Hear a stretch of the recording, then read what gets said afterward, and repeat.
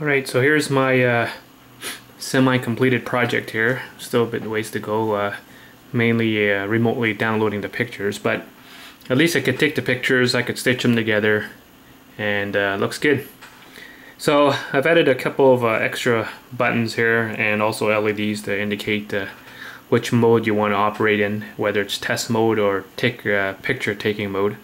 So um, first button here on the left here is the uh, mode button. So you can see it just uh, sequences through the lights to indicate uh, what mode you want to be in. And uh, switch on the right is the action, uh, or I guess go. So I press that and the camera will start doing things.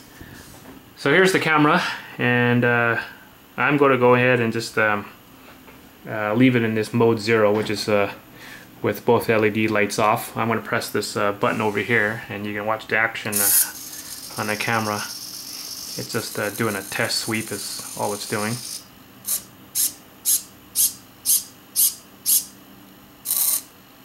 And that's it. So uh, it uh, works pretty good. And then if I go to the other mode, which is, I'm just going to do it, um, which is the mode 3 here, with both LEDs on. If I press that, the camera will turn on and start taking pictures at every 25 degrees here. So I'm going to go ahead and press that. So you hear the uh, camera just turned on.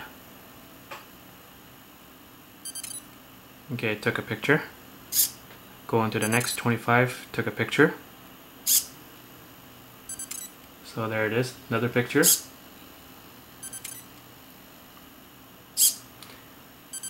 So it takes a total of eight pictures, which then could be uh, downloaded and uh,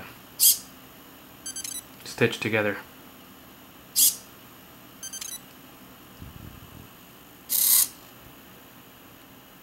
And then the uh, camera powers off and goes back to its standby mode there. So there you have it, all in one.